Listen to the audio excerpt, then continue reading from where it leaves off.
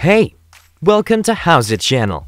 In today's tutorial, we will teach you how to repair a damaged WinRAR file. Let's go!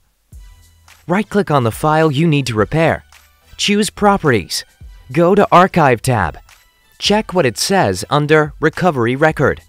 If it says Absent, double-click on the archive to open it.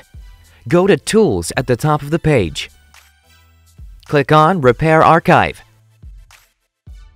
Click on Browse and set the path to save the repaired file and click OK.